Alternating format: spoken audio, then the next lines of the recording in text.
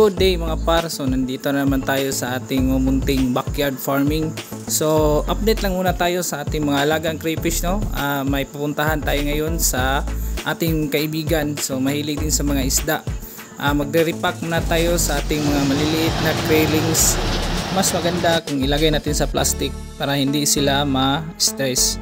So ayan, uh, mag-uuli tayo ng maliliit nating mga alagang krillings mas mabuti mga parikoy na mag-ingat tayo sa paghulis kanila kahit baka sila ay ma-stress. Uh, nasa mga 2 months old pa lang itong ating mga alagang krailing. So uh, ina-out ko na ito sila ng antay.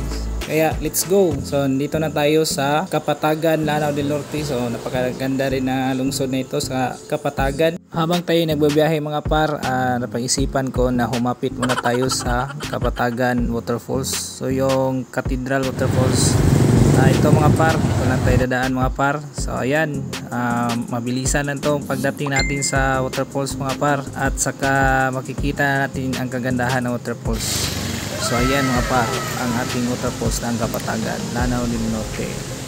Ayan mga par uh, napasugod tayo sa bahay ni uh, Boss Ayo!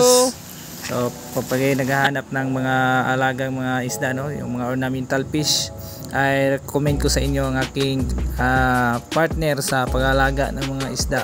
Si Boss Michael Balio search nyo lang po siya sa FB so ayan uh, hindi na ako nakapananghid sa kanyang mga uh, alaga dito no? Nagbibideo na ako ng, ng una mga par. So ayan makikita natin ang dami ng kanyang mga concrete band so yung mga naghahanap ng mga goldfish dyan So dito lang kayo punta sa Kapatagan Waterfalls at hanapin nyo ang bahay ni Bossing Boss Balios. So ayan mga par, makikita natin yung Oranda goldfish niya. So napakalaki mga par no, nasa uh, aquarium. So ayan mga par, habang nag-aantay tayo ni Boss na lalabas sa kanyang lungga. So magbibideo muna tayo sa kanyang mga alagang isda mga par. So napakaganda ng mga kulay ng kanyang mga alaga.